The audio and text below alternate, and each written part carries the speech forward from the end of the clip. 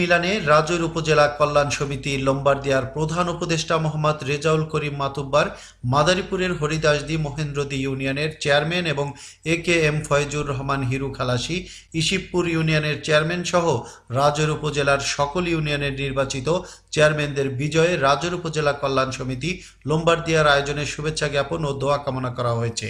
মিলানস্থ একটি রেস্টুরেন্টে সংগঠনের সভাপতি জাকির হোসেন মামুনের সভাপতিত্বে এবং সাধারণ সম্পাদক মমিনুর রহমান ও জালাল হাওলাদারের যৌথ পরিচালনায় প্রধান অতিথির বক্তব্য রাখেন কমিউনিটি ব্যক্তিত্ব রবিন হোসাইন খালাসি। নবনির্বাচিত চেয়ারম্যানদের শুভেচ্ছা জানিয়ে বক্তব্য রাখেন লিটন মাতুব্বার, শামীম হাওলাদার, সাইফুর রহমান, হাসান খান প্রমুখ।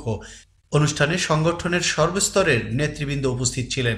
শেষে নির্বাচিত চেয়ারম্যানদের কার্যক্রম সাফল্যের সাথে পরিচালনার জন্য দোয়া কামনা করা হয় এবং উপস্থিত সবাইকে মিষ্টিমুখ করানোর মাধ্যমে অনুষ্ঠানের সমাপ্ত করা হয়। ইটালির মিলান থেকে Riazul Islam Kawsar Brick Lane TV news.